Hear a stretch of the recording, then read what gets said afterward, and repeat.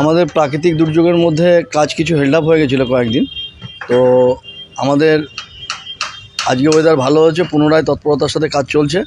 আমাদের এবার দুর্গা প্রতিমা কৃষ্ণনগরের শিল্পী দিয়ে তৈরি হচ্ছে এবং আমাদের এই যে প্রতাপগড় ময়দানে দুর্গাপুজোর যে শারদ উৎসবের যে মেলার ময়দান তৈরি হয়, প্রাণকেন্দ্র, এখানে আমাদের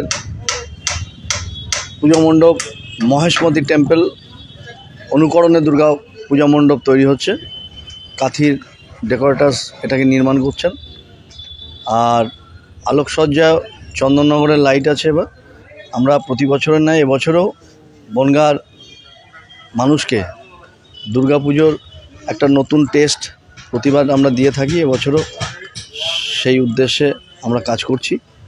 দুর্গাপুজো বিভিন্ন দিকে যেভাবে বান বন্যায় ডুবছে, আমরা চাই বনগার মানুষ শান্তি শৃঙ্খলার মধ্যে দিয়ে এই শারদ উৎসবটা পালন করুক এবং আমরা দুর্গাপুজোর উদ্বোধনের দিন প্রতি বছরই প্রায় সাত আটশো মানুষকে দুস্থ মানুষকে বস্ত্র বিতরণ করি।